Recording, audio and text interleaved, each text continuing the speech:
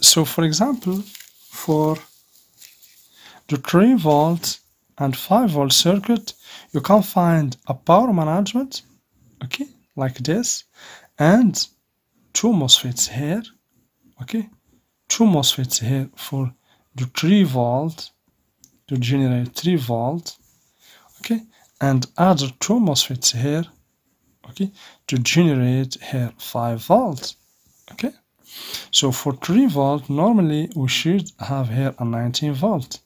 This is the main power for the motherboard. This 19 volt will pass through some capacitors ceramic capacitors or PF capacitors okay? And then go to this MOSFETs drain or source no problem. So and then here we have source and then this is gate. This is the DH drive high gate okay?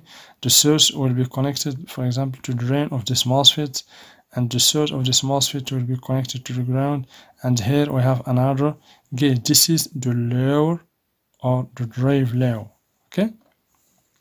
Then here we will have for example a PF capacitor and then the coil and then we will get the 3 volt the same here the same. Here also here we have drain for example this 19 volt will go here. Also will power this IC this is VIN. Here we have the 19 volt also so here we have source will be connected to drain of this MOSFET and the source of this MOSFET will be connected to the ground. Here we have, as you can see, this is the gate, okay, will be connected to this IC. This is the drive low 2, here drive low 1, 1, okay. Here also we have another gate, okay, this is the drive high, as you see, 2.